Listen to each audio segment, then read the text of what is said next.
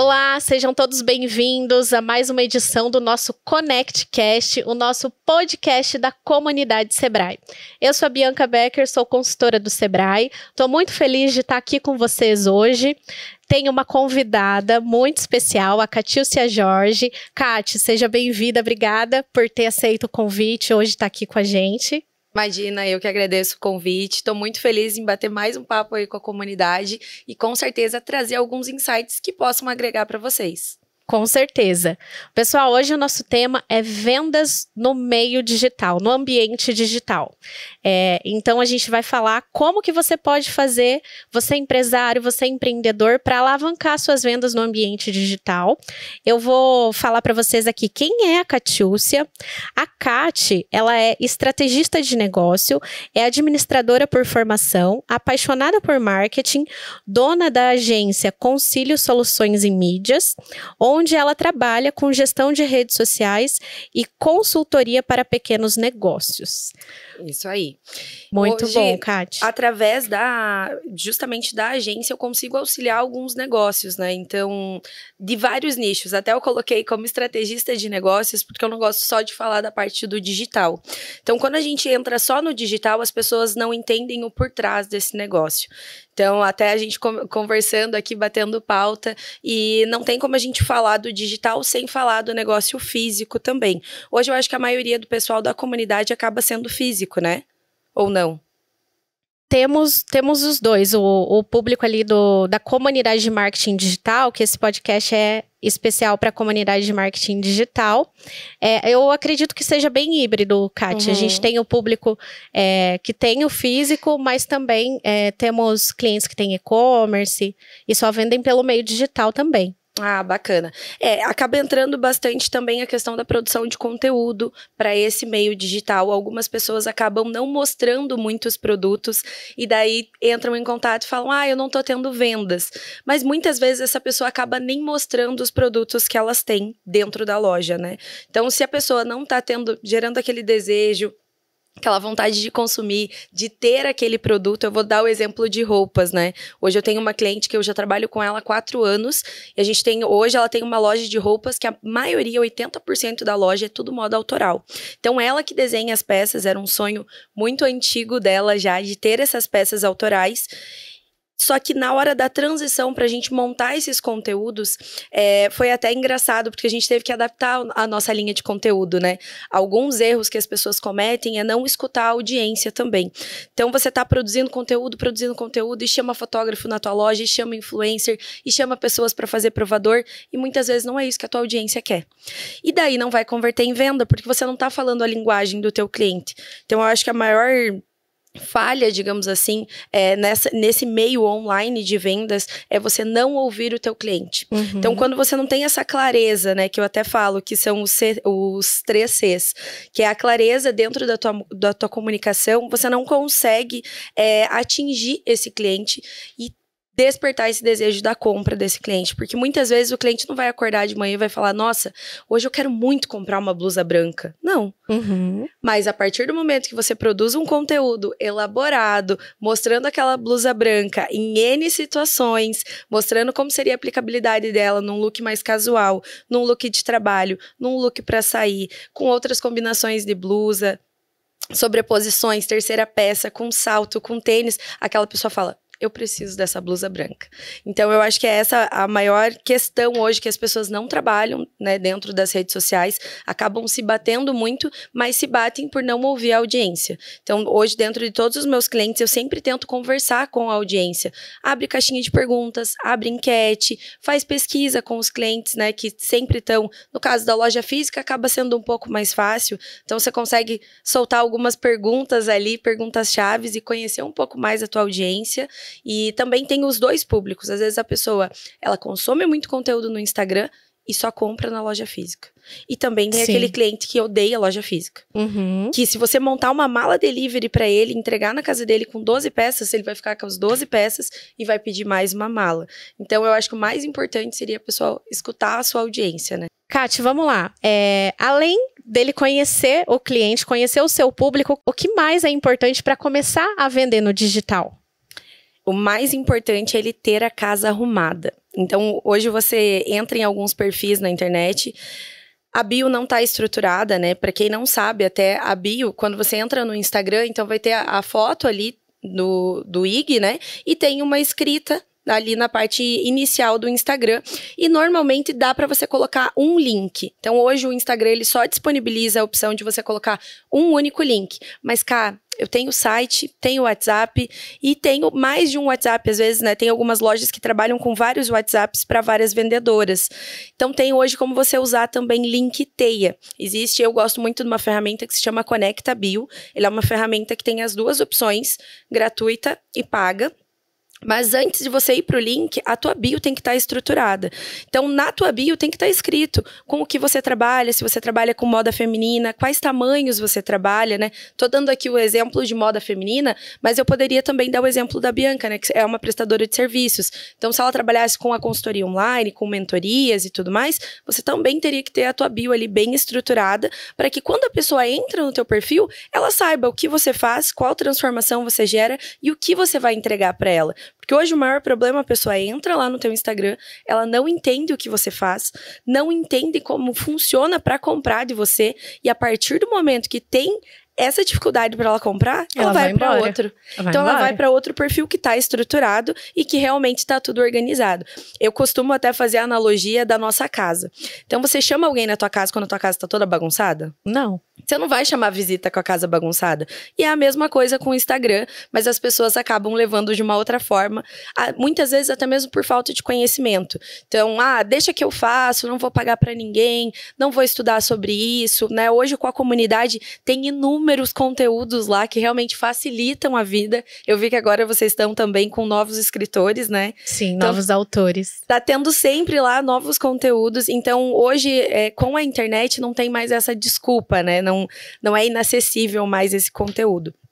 Então, deixa a tua bio bem estruturada, coloca é, realmente o teu nicho, com o que você trabalha, qual transformação você gera. É, eu gosto bastante de colocar uma frase que é o que realmente você ajuda essa pessoa. Então, quando a pessoa, a gente ainda voltando ali na moda feminina, a pessoa não está comprando uma roupa, ela está comprando confiança, autoestima, ela está comprando um look para ela sair com uma pessoa que às vezes ela está conversando na internet há seis meses. Então, é muito mais do que apenas uma roupa. Então, hoje, dentro dos meus clientes, eu já trabalhei com vários nichos é, tanto como social media, né, na agência, como também como consultora. Então, até ontem eu finalizei uma consultoria que é para uma empresa uma clínica que trabalha com vários produtos estéticos. E a dificuldade dela realmente era esse posicionamento. Ela trabalha com muitas coisas, o atendimento dela é excepcional. Então, ela trabalha com vários é, serviços personalizados, mas na hora de transformar isso lá no Instagram, para ela era uma dificuldade, porque ela não conseguia aparecer. Então, hoje as pessoas, até a gente já gravou um conteúdo sobre essa parte, né, de autenticidade, humanização. As pessoas buscam quem está por trás do negócio. Sim. Então, as pessoas querem saber, porque é isso que vai conectar. Então, a partir do momento que dentro do teu perfil você consegue trazer essa humanização, consegue conversar com essa pessoa, de pessoa para pessoa realmente escutando ela, entendendo quais são as dores, quais são os desejos dessa pessoa, não tem como não dar certo. Então, montou ali a estrutura da bio, colocou o link no perfil. E lógico, você tem que ter um bom atendimento. Então, é, muitas pessoas, né, muitas lojas que hoje trabalham com o negócio virtual, tem um gargalo gigante do WhatsApp. Então, você manda uma, mensagem hoje para a loja, a loja vai te responder daqui três dias. Não, daí não dá, aí perde o timing. As pessoas são imediatistas, Sim, a gente quer e... o atendimento bate pronto. É por isso que muitas vezes funciona o site, porque é 24 por 7 um site, então tá sempre rodando, sempre você vai conseguir estar tá consumindo, né, num e-commerce, porém a implementação de um site não é para todo mundo. Da mesma forma que o negócio virtual também não é para todo mundo, né? As pessoas às vezes têm essa ideia, ah, eu vou comprar algumas coisas, vou colocar no Instagram, vou começar a vender e essa pessoa às vezes toca com outros negócios e não dá a devida atenção. Então a pessoa, ela vai tentar uma única vez, vai mandar uma mensagem, não vai ser respondido, demora às vezes mais de um dia para ser respondida essa mensagem, a pessoa não entra em contato novamente. Então esse é o problema também. Sempre que você for estruturar qualquer negócio virtual, pensa realmente em quanto tempo você vai responder essa pessoa. Adianta hoje eu subir lá 20 stories? e eu não vou ter esse resultado, né? Não vou conseguir ter, transformar esse resultado, na verdade, né? Eu mando lá os 20 stories, publico e não vou ter ninguém para responder esse WhatsApp. Aí fica um pouco difícil, né? Sim. Então você não vai conseguir converter as vendas, mas daí o problema não foi do meio, né? E sim de, realmente da pessoa que estava por trás e não conseguiu responder essas mensagens. Kate, e aqui é, as vendas, a, a, venda no ambiente digital não se resume apenas ao Instagram. Uhum. É, Quais são as estratégias para vender no digital? O Instagram, hoje, ele é uma ferramenta poderosíssima, né? É, as pessoas estão ali na plataforma, elas estão consumindo conteúdo. Eu, por exemplo, eu compro muito pelo Instagram. É, então, os anúncios, até os anúncios patrocinados, né, chegam até mim. E o Instagram, ele é uma vitrine né, para as vendas, para o digital, mas também é, as vendas no digital não se resumem apenas ao Instagram. É, quais são as outras estratégias de vender no digital, além do Insta, que o empreendedor pode utilizar? Muito bem lembrado, mas assim, vale lembrar que o Instagram hoje no Brasil, ele é a, a, nós somos a segunda população que mais consome conteúdo de Instagram. Então, hoje o brasileiro ele passa mais de 240 minutos na tela. Então, as pessoas estão ali. Hoje você para num sinal, você não vai ver a pessoa no sinal é, olhando o banner, olhando o que está passando, assistindo televisão. Não, Sim. a pessoa está aqui, ó, com o celular na mão. Então, o teu cliente, o teu consumidor, ele está ali no celular. Mas você tem que produzir conteúdos para todos os públicos. E nem sempre vai ser um Instagram. Porque a forma de consumo da Bianca pode ser uma. Então você pode ter um consumo de Instagram. Eu, por exemplo, adoro TikTok. Eu gosto muito do TikTok. Porém, já é comprovado que as vendas no TikTok não ocorrem da mesma forma que o Instagram. O Instagram ele ainda é visto como uma plataforma de maior autoridade, maior confiabilidade do público para que realmente você faça uma conversão. Então, dentro do TikTok hoje você também tem a ferramenta de link, você também pode colocar o teu link de loja, pode colocar o teu site, o teu WhatsApp, mas a conversão do TikTok não é a mesma que no Instagram. Eu gosto muito de utilizar duas ferramentas que são gratuitas também.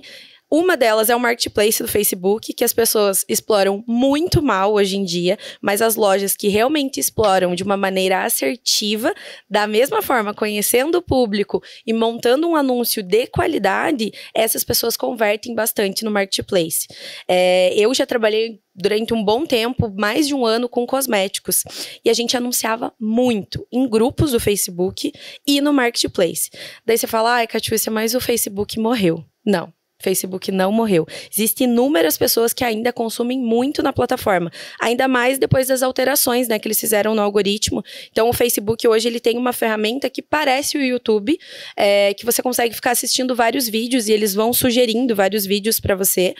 É, as pessoas acabam consumindo muito conteúdo ali e esses marketplaces também vão aparecendo para você o anúncio pela própria plataforma, não é algo que você paga mais. E dentro dos grupos, aqui em Curitiba a gente tem o Clube da Alice, Sim. vocês já devem ter consumido Sim, alguma coisa lá.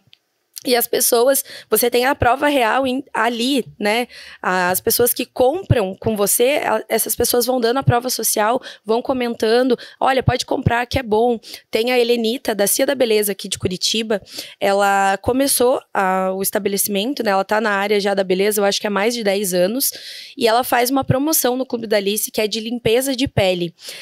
Mas você olha o post dela, o post está extremamente estruturado, ela mostra como é essa limpeza de pele.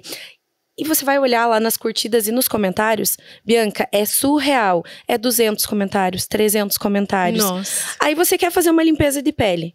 Você vai numa clínica que você nunca viu na tua vida, ou numa clínica que você tá num grupo que você já conhece várias pessoas do grupo, várias Alices, né, como elas se denominam, e elas estão afirmando que aquele produto é bom. É claro que você vai Com ali, né? Com certeza, por indicação, uhum. né? Porque daí você vai falar, não, não tem erro, esse produto é muito bom. Se a pessoa tá falando que é bom, é porque é bom. Sim, daí você vai confiar muito mais naquele produto. Então as pessoas hoje acabam não explorando muito bem tanto o Facebook, os grupos de Facebook, quanto o Marketplace. E outra coisa que as pessoas ah, muitas vezes nem têm estruturado é o Google Meu Negócio. Então, o Google Meu Negócio, o Google ele te recomenda. Então, a partir do momento que você tem uma página do Google Meu Negócio estruturada, com o teu endereço certinho, com o com as tuas avaliações, você pede para a tua clientela realmente fazer essa avaliação, você tem todo um script para trabalhar com a tua clientela, porque as pessoas hoje, elas têm lá uma página no Google, mas não fazem uma manutenção. Então, da mesma forma que você faz um post para o teu Instagram, ou que você cria um artigo para o teu blog, do teu site, você também tem que atualizar o teu Google Meu Negócio, para que o Google te recomende. Então, a partir do momento que o Google tá ali também certinho, arrumado para receber visitas, ele mesmo vai começar a te recomendar. Porque o Google ele te recomenda por geolocalização. Então, por exemplo, a gente está aqui na região do centro, se eu estivesse procurando um restaurante na região, o Google ele vai me recomendar um perfil que pague o AdWords do Google e também um perfil que não, não paga para ele, mas que esteja estruturado, que esteja certinho com as hashtags do tipo de nicho que eles trabalham, com os horários, que tenha tido atualização em menos de um mês. Aí ele vai te recomendar. E com isso as pessoas da localização vão começar a procurar encontrar a tua loja, chegar no teu estabelecimento, mas muitas pessoas acabam não fazendo isso. E é muito comum, né, Kátia? Hoje em dia, eu, eu procuro muito por estabelecimentos no Google. E geralmente eu vou, por exemplo, é, o, um doguinho, meu doguinho, ele estava passando mal no feriado, é, e aí eu precisava de um veterinário, e era feriado. O que, que eu fiz? Vou entrar no Google. Entrei no Google, digitei clínica veterinária e achei uma clínica perto, exatamente isso que você falou, da minha localização. Era feriado, estava aberto. E o que, que eu fui fazer? Eu olhei as avaliações, uhum. eu olhei os comentários, só comentário positivo. O que, que eu fiz? Levei o meu doguinho naquela clínica e eu cheguei através do Google. Se eles não tivessem, né, cadastro no Google Meu Negócio, eu com certeza teria ido para outra clínica. É, e outro ponto, né, Kátia, o Google Meu Negócio, ele é gratuito. Gratuito, não tem custo algum. Então, você vai estruturar esse, a, o Google Meu Negócio, inclusive tem vários tutoriais, né? Se você joga no YouTube, você vai encontrar vários tutoriais de como fazer realmente é, a padronização ali, deixar tudo certinho dentro do teu Google Meu Negócio, mas é a mesma coisa, não adianta você fazer só uma vez e não ter essa atualização. Então, é algo que você vai necessitar de ter uma atualização com constante para que também as pessoas entendam que você está com o estabelecimento aberto. Essa é uma falha, né, que as pessoas têm. Então, ai, mesma coisa no Instagram, no Facebook, eu vou criar uma publicação hoje, é, vou fazer vários conteúdos essa semana, aí passa meses sem fazer nada. Sim. Aí eu estou lá procurando, né? Pode dar o exemplo da clínica veterinária. Estou procurando aqui uma clínica veterinária, entro no Instagram da clínica, a última publicação foi há três meses atrás. Não tem um stories. Você pensa o quê? Tá fechada. Sim. não tá, faliu, não funciona uhum. mais. Então, daí até você olha no Google, às vezes tá lá, é temporariamente fechado, recomendado, não sei se você já reparou isso, porque você consegue recomendar para o Google, né, que se você foi num estabelecimento e estava fechado, para ele fazer uma alteração. Então aparece sugerido pelo usuário. Às vezes as pessoas elas são tão desatentas com o Google que outras pessoas vão sugerindo e o Google dá uma janela. Então ele dá três meses para que você faça aquela altera alteração, né, que você confronte essa análise da pessoa que falou que você não estava aberto naquele horário. Se você não contestar, ele vai fazer a alteração por você. Então, muitas vezes, seu estabelecimento está aberto, mas lá no Google está fechado. Então gera é uma dúvida, né? cuidar, né? né? Importante é importante, cuidar. principalmente essa questão do feriado. Então, assim, vai estar tá fechado ou vai estar tá aberto em horário especial, faz alteração no Google. Então, até a questão é, é uma questão de planejamento, né? As pessoas levam o digital muito no oba-oba. Ah, não vou planejar a publicação, não vou planejar o que, que eu vou fazer de alteração. Quando der tempo eu faço, publico, ah, ah, se produzo hoje... conteúdo. E não funciona assim. Você tem que ter um calendário editorial, você tem que ter as as tuas alterações, né? Dá uma olhada em quais serão as datas comemorativas ao longo do ano, o que faz sentido para o meu público, o que faz sentido para minha empresa. Então, sempre até na consultoria, eu faço a pergunta para os clientes: vocês é, comemoram, às vezes, feriados católicos? Porque tem empresas que não comemoram, que tem outra religião e muitas vezes não vai comemorar aquele feriado. Então, você também já tem que colocar isso na programação do teu cliente. Então, não é uma coisa tão rasa como as pessoas imaginam, né? Legal. Então a gente falou aqui o marketplace do Facebook, uhum. é que inclusive eu tenho essa sensação, Kátia, de que o Facebook morreu. É, porém, Sempre que eu preciso de alguma coisa, eu entro no marketplace do Facebook. E uma coisa que me mantém muito ativa também no Facebook são os grupos, né? É, mas eu, eu achei interessante você trazer isso, é, porque para o olhar do negócio, o Facebook ele ainda tá ali, né? Ele ainda é, tá vivo, inclusive com muitas oportunidades de negócio. Sim, e não só com oportunidades de negócios de produtos físicos, né, mas também de infoprodutos. Então, muitos produtos, né, que você não tem essa entrega física, você também consegue trabalhar dentro do Facebook. Agora está em altos óleos essenciais e as pessoas estão vendendo vários tipos de infoprodutos. Você vai começar a ver muito infoprodutos sobre aromaterapia agora, porque tem uma empresa aqui no Brasil que está em ascensão. Então, muitas pessoas estão entrando nessa área e muitas pessoas querem aprender sobre isso. Então, você vai ver esse produto também crescendo e é uma forma de divulgar. Você está divulgando no Facebook, no marketplace. Outra forma também é o LX. Então, também é um buscador, porque tudo que é, sejam todos os sites, né? Lembra que antigamente a gente tinha o Alô Negócios aqui no Paraná? O Alô Negócios ele acabou não se atualizando, né? Não, não ficou na mesma na mesma crescente que o LX, porque o LX também ele foi se atualizando e foi se modernizando. Hoje tem inclusive meios de pagamento pelo próprio OLX. Então eu faço um anúncio de uma mesa lá no OLX, o próprio OLX já cobra daquela pessoa para mim, já deixa tudo certinho, eu só entrego para aquela pessoa. Uhum. Igual o Mercado Livre, uhum. que também tem essa segurança, né, de você vender pelo pelo marketplace e já ter o pagamento por lá mesmo, né? Então, para a pessoa também, para o empresário, é uma segurança. No OLX também tem vários produtos que as pessoas acabam não divulgando, mas às vezes você está procurando um produto usado, você entra lá, esses dias eu estava procurando uma câmera, uma webcam. E daí, olhando, olhando, olhando, eu falei, ah, vou dar uma olhada. Olhei na Amazon, olhei no Google, é, olhei no Google Shopping, porque daí também tem aqueles anúncios que aparecem ali no Google Shopping, e fui olhando. Então, eu falei, ah, vou procurar no LX.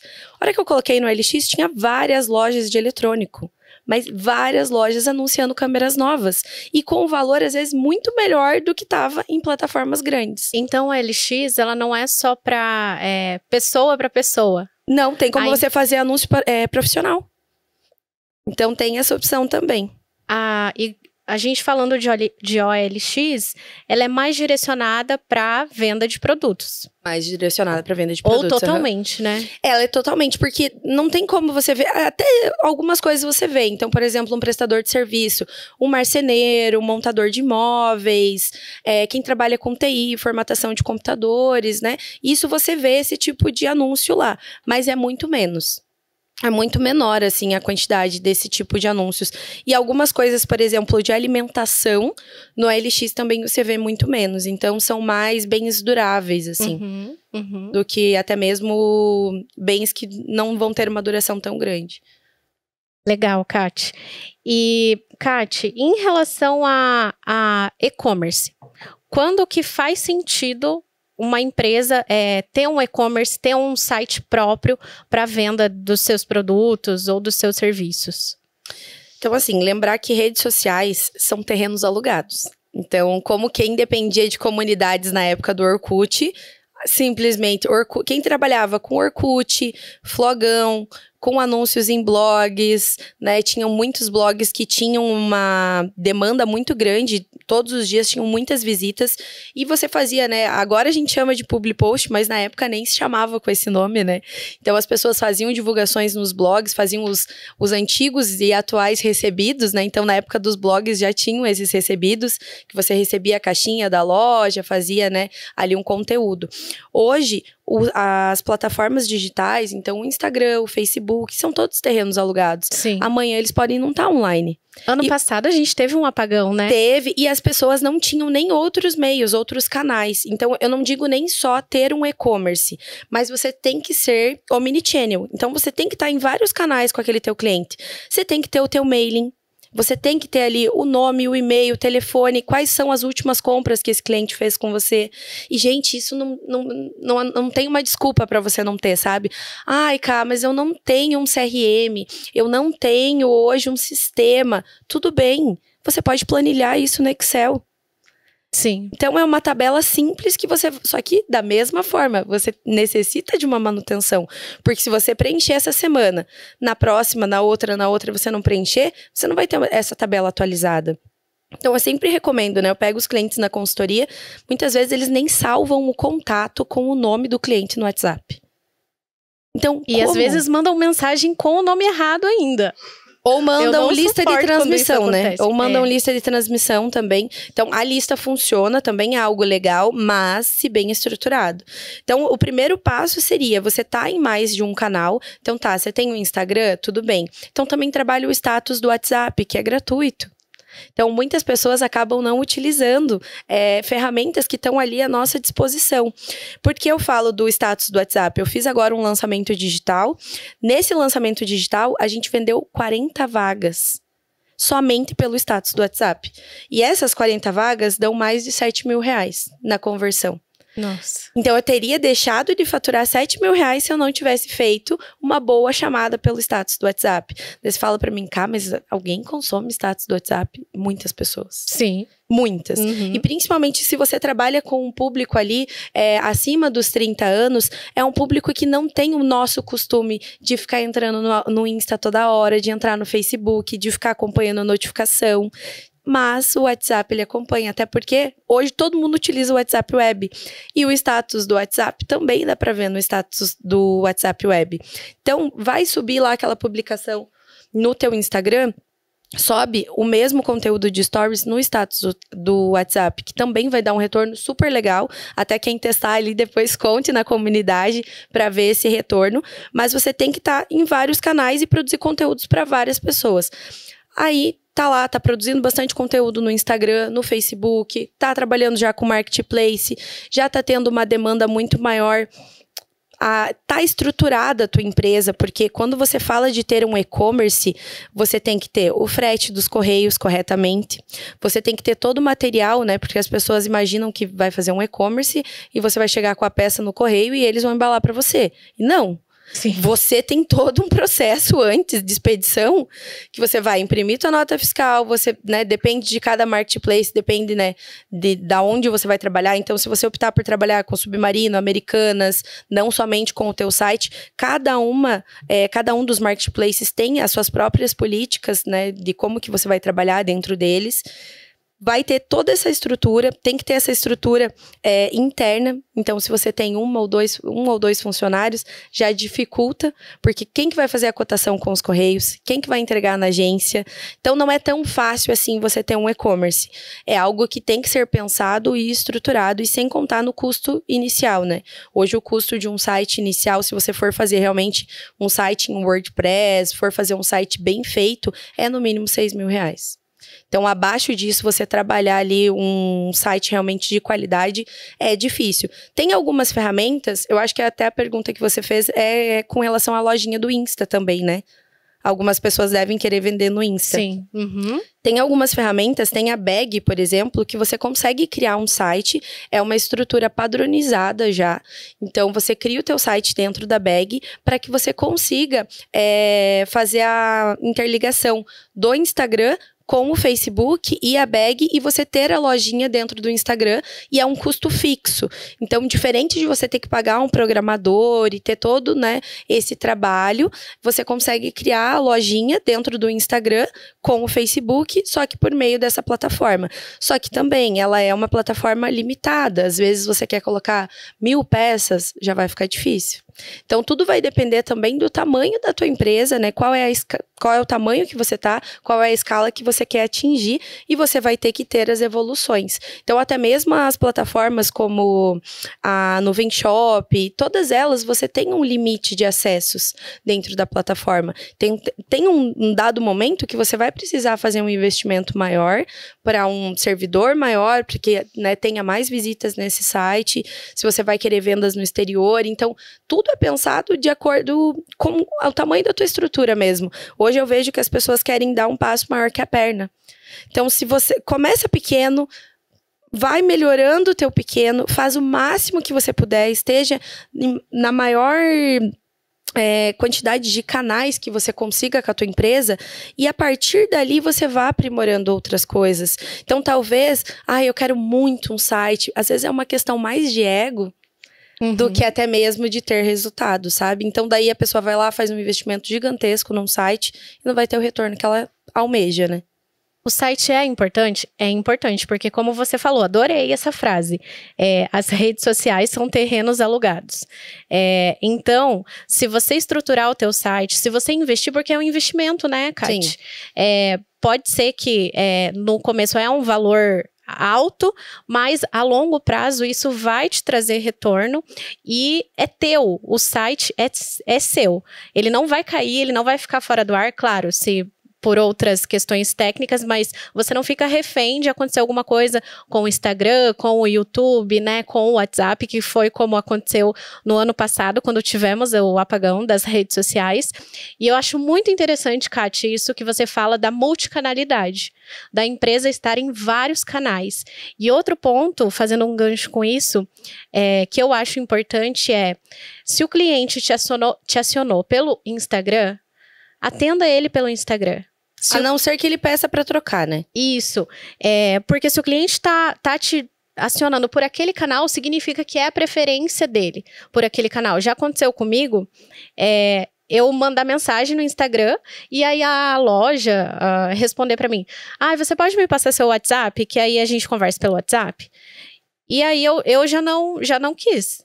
E, a, e a, se a pessoa tivesse me respondido ali, provavelmente eu teria seguido.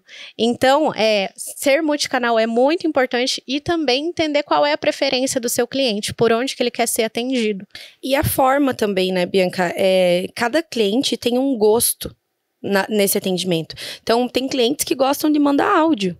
Tem cliente que quer o vídeo da peça. Eu tenho com essa cliente moda, da moda feminina, a gente faz tour virtual pela loja.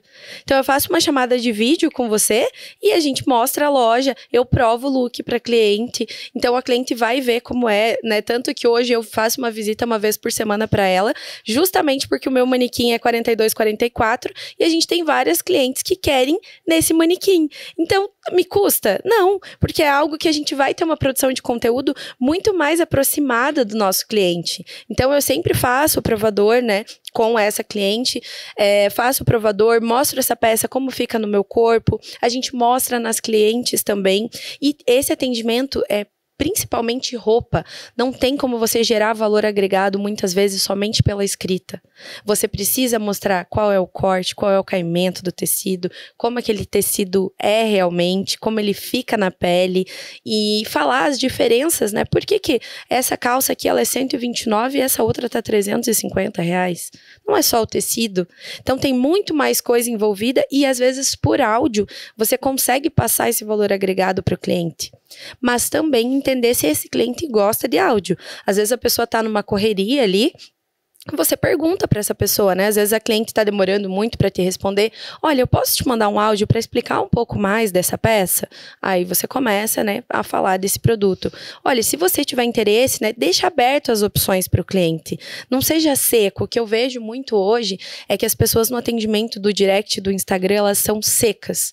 Elas querem as coisas, sabe? Para ontem. Ah, tenho essa peça no P, no M, no G e entregamos por Uber. Gente, não é assim. Você não, não. vai gerar desejo. Tem que gerar relacionamento, né? o relacionamento é, no digital, ele, ele, é, ele é chave, né? Eu, eu gosto eu sou apaixonada por, por essa questão de relacionamento, inclusive no Sebrae. É, a comunidade Sebrae, ela é uma estratégia de relacionamento com o nosso cliente. E o relacionamento, ele faz com que a venda ela seja natural, né? Com que a venda ela fica fácil. Trazendo mais um exemplo, final de semana eu fui no shopping, eu precisava de um pó. De uhum. um, um pó. E aí eu entrei numa loja e, e a, aí a moça começou a me, me explicar os, os pós que tinha. Aí ela falou: Eu posso testar na sua pele para você ver? Hum. Daí aí eu já, eu já fiquei, ai, será? Pelo tempo, né, que ia levar, mas aí eu, eu aceitei. Gente. Você ela... saiu de lá com um pó, com uma base? Exatamente! Eu comprei, além do pó, eu comprei um, outros produtos e eu achei incrível o processo de condução dela. E acabei comprando. E é isso, o que, que ela fez? Ela me envolveu, ela me encantou ali no processo e o resultado, principalmente pelo resultado.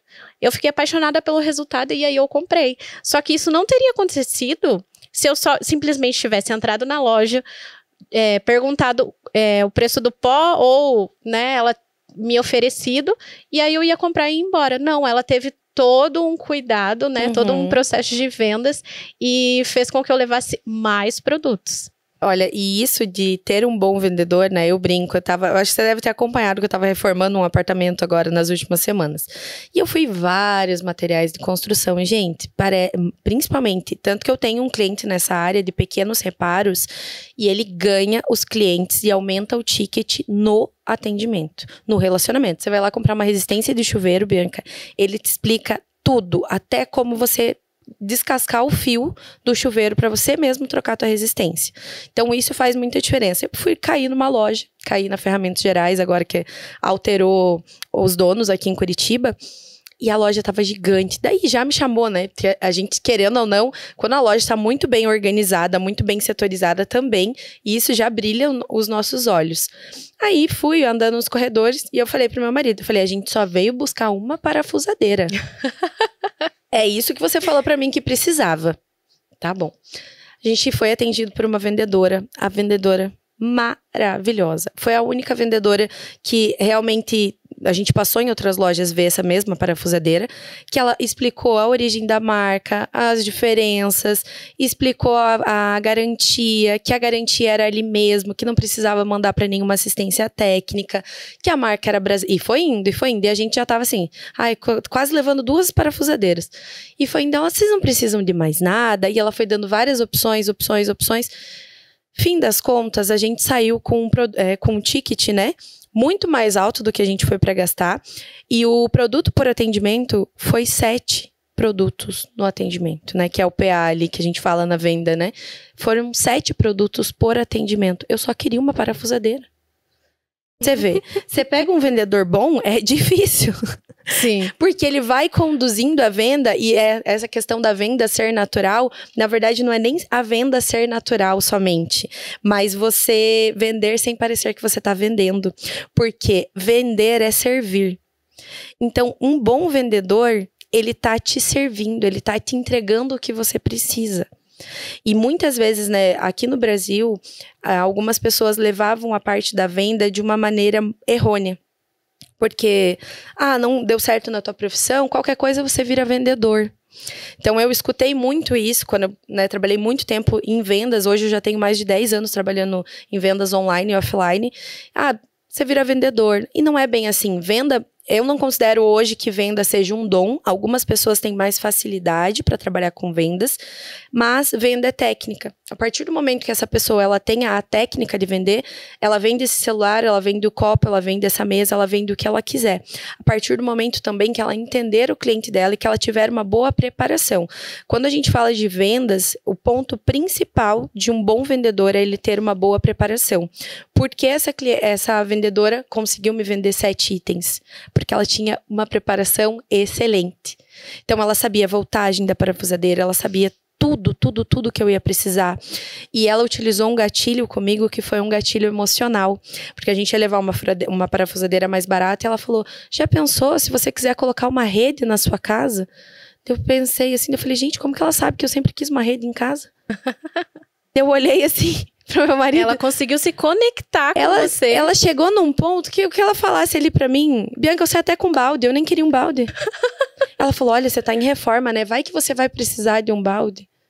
E, e eu precisei realmente, ela tava certa. Olha então, só. o vendedor bom, ele vai se conectar ele vai entender aquela necessidade que o cliente tem, mas se ele não tiver o preparo de todos os produtos que ele tem hoje na esteira dentro do estabelecimento dele, ele não vai conseguir ofertar a melhor solução, porque o, o vendedor ele está ali para ser um solucionador de problemas. Então, você está ali para servir e solucionar problemas. A partir do momento que o teu produto solucione problemas, não tem como você não vender. Sim. Aí vai ser uma venda realmente natural e muito mais facilitada. Sim. E esse esse processo, né, Kate, do atendimento, ele, ele é muito importante. Muito. Aqui a gente está falando, foi um atendimento presencial, certo? Que a, a vendedora teve a oportunidade de te, te trazer todas essas informações. Uhum. É, e quando a gente está falando do digital, outro ponto é que vem muitos curiosos também, né? No digital. Como, como que a gente pode fazer para gerar esse encantamento considerando o digital? Quando você considera o digital, o importante é você entender qual é o cenário que aquela pessoa está. Então eu vou te dar um exemplo, né? Eu queria muito uma calça para vir aqui hoje. Mas eu queria uma calça que comunicasse o que eu queria com a minha imagem, correto? Então eu fui na loja, a vendedora me vestiu de cima e embaixo, colocou vários looks. O que, que você achou desse? O que, que você achou desse? Qual é a tua paleta de cores? No caso, eu já sabia a minha paleta, então eu já informei para ela quais cores me favoreciam. E foi indo, foi indo, foi indo. Isso no presencial. Só que antes, no online, ela já fazia esses provadores mostrando: ah, olha, então, se você pretende né, passar mais autoridade, você vai usar a peça com o corte assim. Olha, é, essa combinação fica legal. Então, se você usar o verde dessa forma, forma fica bacana, se você usar o branco dessa forma fica legal. Se você usar uma peça em alfaiataria, ele vai te trazer mais autoridade.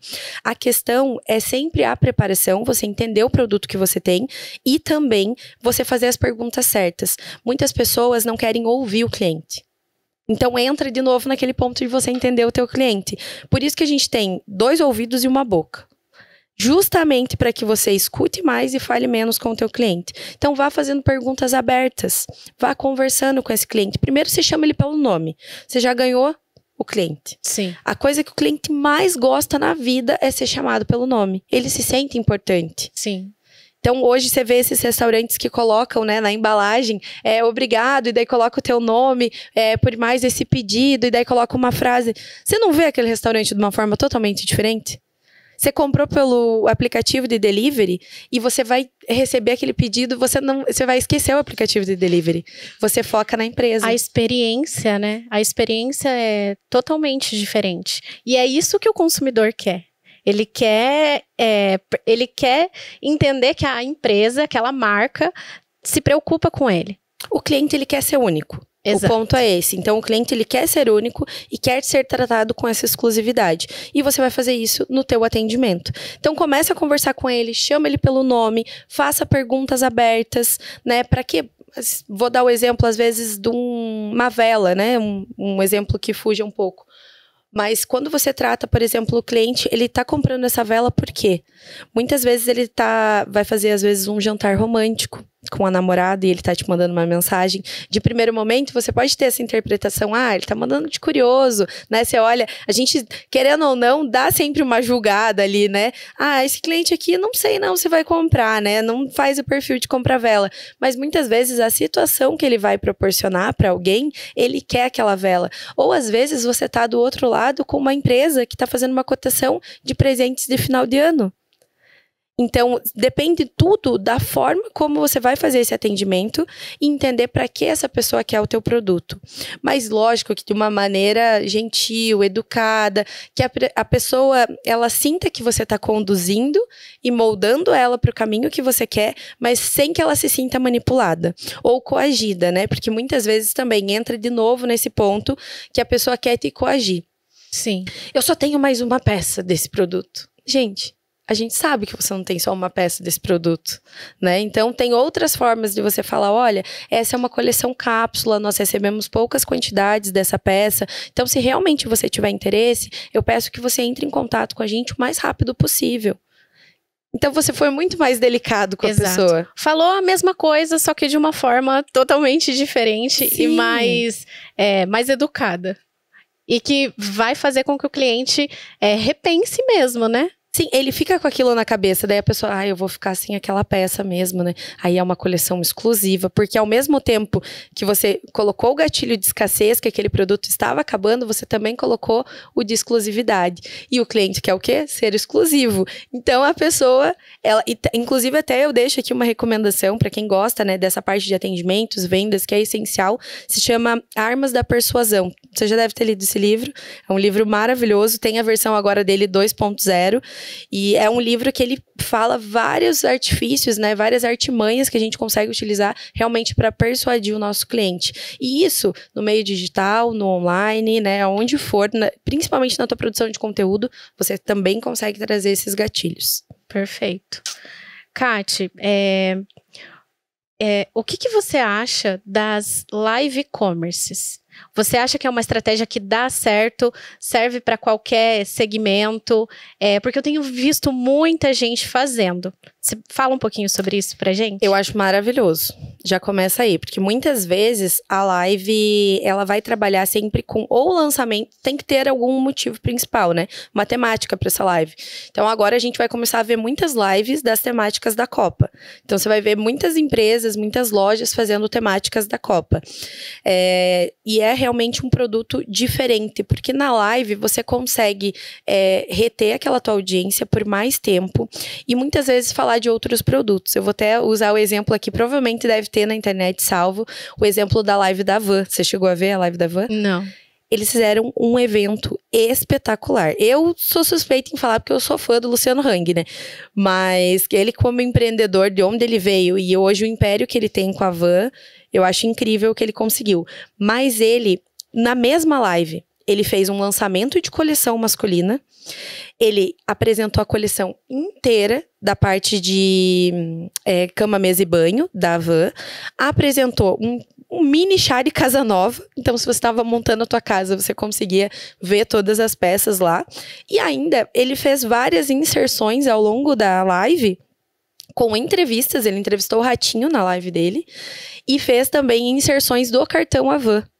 Então, ao longo do, da uma hora de live, é, teve muito mais coisas, teve sorteios, teve peças especiais. Então, quando a gente fala do método, é um método, né, isso do live shop. Quando você fala do método live shop, você tem que ter uma estratégia muito bem planejada sobre qual é a, a principal intenção. Muitas vezes, para uma loja, às vezes ela não tem nem a quantidade de produtos para fazer uma live shop. Então, talvez se ela fizer uma live com um saldão, né, com um bazar de algumas peças que ela tenha e que agora a gente vai trocar a coleção. Então, ela vai ficar com essa coleção até o ano que vem? Tem muitas a moda, ela é, circula. Uhum. Então, talvez coisas que a gente utilizou esse ano, ano que vem não se utilize. Ainda mais quando você fala de tendências, né, como a gente teve agora as tendências do metalizado, daquelas puffers, né, de coleção é, de moda feminina. Isso não vai vir ano que vem. Metalizado pode ser que não continue ano que vem. E você vai fazer o que com essa peça na tua loja? Você vai ficar três anos com a peça no estoque? Não vale muito mais a pena você fazer uma live shop, trabalhar esses produtos, mas assim, a live shop, ela tem que ter um bom comunicador para fazer a condução da live shop e ela tem que ter a peça, não a peça mostrando a peça só, mas a peça andando, a peça circulando. Porque mostrando a peça você já faz isso num provador, mas a pessoa quer ver esse produto. Tem um, um Instagram que se chama Balada, se não me engano. Eu acho que é Balada o nome do Instagram. É uma loja do Rio de Janeiro que eles fazem é, provador de, de, live shop, assim, é uma live shop com vários provadores e com vários corpos. Tem umas quatro modelos que fazem o provador. Eles têm também mais ou menos de 45 minutos a uma hora de duração esse provador e as pessoas vão mostrando. Então eu vejo, ah, eu uso um 42, 44, mas é uma menina muito magrinha que tá ali de modelo. Eu não consigo me visualizar. Uhum. Por isso ela tem uma outra modelo e elas chamam chamam e mostram a mesma peça mostram uma composição que talvez eu nunca faria e talvez a pessoa que entrasse no teu site ela não comprasse aquela, aquela composição. Então a live shop eu acho que é um grande veículo para você aumentar o teu ticket porque você trabalhando uma live shop bem você consegue trabalhar muito bem o teu ticket médio. Então, um produto que você venderia só uma jaqueta ou só uma sandália, você já vende a sandália, a meia calça, os shorts, uma blusinha. Então, a hora que for fazer ali o compilado geral, ao invés de você faturar sei lá, 200 reais naquele atendimento, você chega a faturar 1.500 reais em um atendimento, porque a pessoa levou muito mais coisas. E a pessoa paga, é muito engraçado, porque a pessoa compra pela emoção. É, é igual o leilão Mil e Uma Noites, né? Hum. A pessoa, ela compra pela emoção. Porque a, a, vendedora vai lá e fala, tem duas peças. Duas, não, pessoal, essa aqui, a gente só tem duas peças. Quem quiser garantir, e daí as pessoas ficam brigando. Você acompanha a live shop ou não? Sim. Uh -huh. Que as pessoas ficam brigando nos comentários, eu quero, eu quero. Quem Sim. fizer o Pix primeiro leva. Gente, é um desespero. Às vezes aquela empresa tem 10 peças, mas ela comprou. Aqui em Curitiba a gente tem inclusive a Moda do Bem, que é o mesmo esquema. Moda do Bem é uma feira, né? Que você vai na, na feira e também. Ah, algumas peças estão com valor selecionado e é só ali, e é só o que tá naquela área a mulherada briga, briga. e tem marcas grandes que vão lá fazer exposição, tem a Chutes que faz de sapato e eles colocam assim 70% de desconto na coleção elas saem correndo com os sapatos na mão para ir pro caixa. Como se aquele negócio fosse acabar. E daí eu, a gente já teve também, eu já tive clientes que trabalharam na. Eh, tiveram um stand no Moda do Bem. No dia seguinte, a maioria dos produtos são repostos. Nossa. Mas é aquela questão de você ficar é o gatilho, sem. É o gatilho. o gatilho. É o gatilho de escassez, de você perder aquilo. Ninguém quer se sentir lesado. Ninguém quer perder nada. Uhum. A partir do momento que a pessoa fala que você está perdendo uma oportunidade, a pessoa fica desesperada. Então, a, a, questão né, da live shop é isso. É de você pegar aquele cliente no gatilho de realmente perder as coisas. Perfeito. Kati, a gente já está chegando perto aqui da nossa do final do nosso bate-papo. Falamos sobre muitas coisas. Olha só, vou fazer um resumão aqui. Gente, então nós falamos como que você pode começar no meio digital, quais estratégias, quais cana canais usar. Falamos do marketplace do Facebook, do Google Meu Negócio, da OLX, é, de você ter um site, investir em ter um site. Falamos da multicanalidade, da importância da empresa ser omnichannel e ter é, o atendimento né, em vários canais para o o cliente. Fechando agora com a live commerce. Muito bom, Kate. Eu acho que foi muito rico. Agora, você que está nos assistindo, você já tem vários caminhos para você seguir, para você aumentar as suas vendas aí no digital. E eu quero convidar você para participar da nossa comunidade Sebrae, para fazer parte da comunidade de marketing digital. Lá tem vários conteúdos assim como esse. É, agora a gente está com essa série de podcasts, né, que é o Connect Cast. Assista as nossas edições anteriores. Uma edição ela é complemento da outra. Nós falamos sobre é, o poder dos vídeos, falamos sobre é, presença no digital, produção de conteúdo. Então, olha um pouquinho mais para trás lá o que, que nós já temos de conteúdo. Kátia, eu queria pedir para você deixar uma mensagem final para os nossos empreendedores, para quem está nos assistindo, é, e uma dica de ouro. Eu acho que a dica de ouro que eu posso deixar para vocês é vocês não verem somente os clientes como números e sim como pessoas. A partir do momento que você começa a ter mudar essa tua visão para os clientes, é, tudo muda quando você quer entender realmente aquele cliente, é, não tem como você não vender e como você não aumentar esse relacionamento realmente com o teu público final. E vai ter vendas. Então, olhe para o teu cliente não somente como um número ou como um faturamento, como ele compra X na minha loja. Não, olhe para ele como realmente pessoas, olhe de igual para igual para esse cliente porque pessoas precisam de pessoas e o teu relacionamento com ele vai ser muito melhor. Muito bom. Kat, deixa tuas redes sociais para o pessoal, quem quiser te seguir. Tá. Então, as minhas redes sociais é arroba... Aparece aqui embaixo? Aparece. Aparece? Uhum, a gente coloca. então, ó, eles vão colocar aqui, mas a minha rede social principal hoje é o Instagram, também tô no TikTok, mas é Catiúcia Underline. Espero todos vocês lá. E qualquer dúvida que vocês tenham, pode me mandar direct. Tô, vou ficar muito feliz em ajudar vocês também. Obrigada, Kátia. Imagina. Gente, o Sebrae também está aqui para apoiar você, empreendedor. É, se precisar da gente, você que quer abrir um negócio, você que já tem e quer melhorar, quer expandir, o Sebrae está à disposição. Nós estamos nos canais, canais digitais e também presencialmente. Entra no nosso site e contata a gente, vê o escritório mais perto de você e a gente fica por aqui nessa edição do Connect Cast. Obrigada, Kátia. Imagina, eu Até a agradeço. próxima. Tchau, gente.